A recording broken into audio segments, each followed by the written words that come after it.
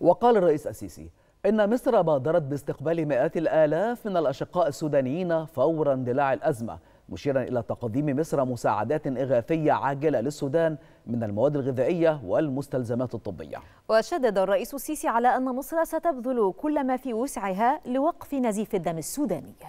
فور اندلاع الأزمة في السودان بادرت مصر باستقبال مئات الآلاف من الأشقاء السودانيين الذين انضموا إلى ما يقرب من خمسة ملايين مواطن سوداني يعيشون فوق الأراضي المصرية منذ سنين عدة. كما قدمت الحكومة المصرية مساعدات إغاثية عاجلة تضمنت مواد غذائية وإعاشية ومستلزمات طبية للأشقاء السودانيين المتضررين من النزاع داخل الأراضي السودانية.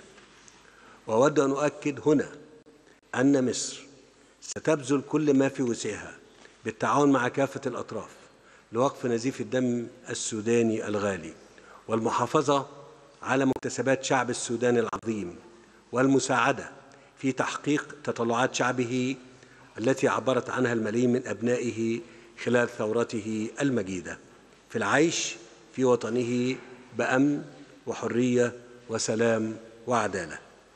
كما ستعمل مصر على تسهيل نفاذ المساعدات الإنسانية المقدمة من الدول المانحة للسودان عبر الأراضي المصرية.